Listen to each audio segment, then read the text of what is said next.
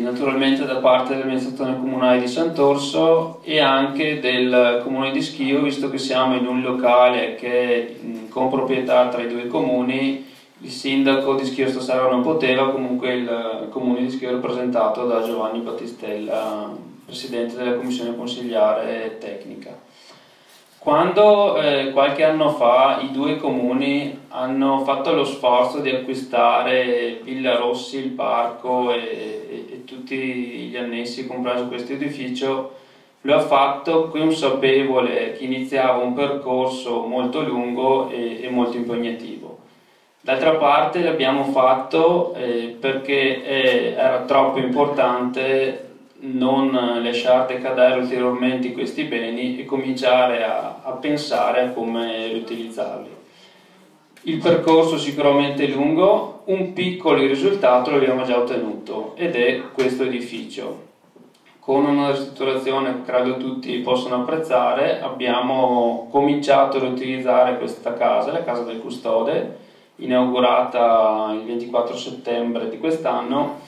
e eh, con una destinazione ben specifica che, sare, che, è la sede del laboratorio di educazione ambientale della provincia di Vicenza. E, tuttavia è, è, solo un piccolissimo passo in un percorso che noi vogliamo sia più ambizioso e che preveda eh, in un tempo che credo sia difficile definire adesso anche il recupero dell'intera villa. Nel pensare a come recuperare la villa ovviamente eh, bisogna tenere presente prima di tutto la storia di questi luoghi. Quindi pensando ad Alessandro Rossi eh, automaticamente si pensa al mondo imprenditoriale, a un mondo imprenditoriale però che aveva eh, dei valori ben precisi e quindi quello che poi è stato definito lo sviluppo sostenibile credo che sia anche quella def- la definizione eh, del termine a quel tempo probabilmente non c'era, però era già nella mente e nei modi di lavorare di, di Alessandro Rossi, e, che era un imprenditore ovviamente prima di tutto, che però sul sociale ha fatto comunque grossi investimenti, pensiamo all'asilo Rossi di Schio, pensiamo anche alla destinazione che ha avuto per, per un periodo eh, Villa Rossi e anche sotto l'aspetto ambientale con eh, il podere modello sicuramente il pensiero di, di sostenibilità eh, era nella, nella, sua mente. In quel periodo probabilmente assieme a lui molti altri imprenditori importanti in Italia hanno avuto lo stesso approccio, pensiamo agli Olivetti o per restare più vicino a noi anche ai Marzotto. E una lungimiranza che eh, probabilmente ha fatto, gli ha permesso di fare le storie. Quindi innanzitutto eh, vogliamo che questi luoghi eh, diano una certa continuità a questa storia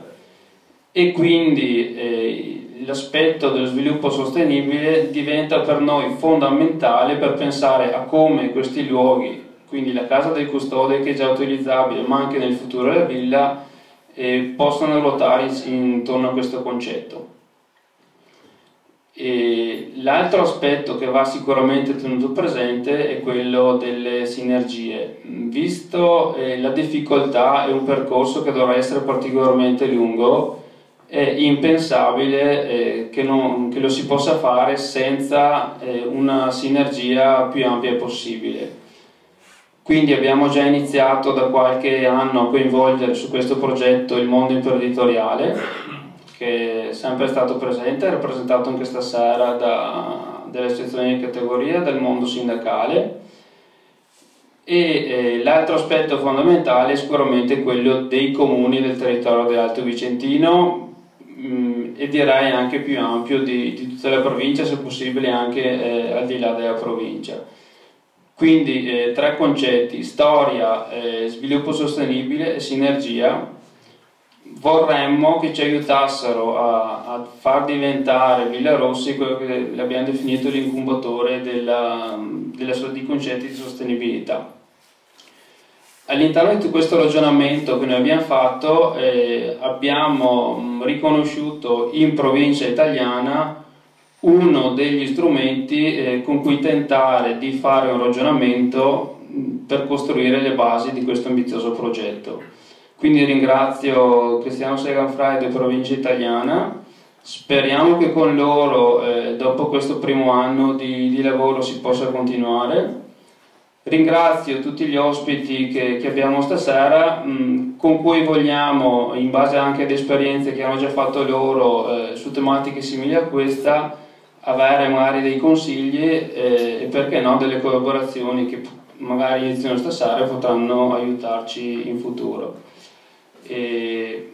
Ovviamente eh, la presenza credo di stasera sia importante e qualificata e solo facendo sinergie, ripeto, tutti assieme mm, possiamo tentare di costruire questo progetto. Quindi grazie a tutti e buona serata.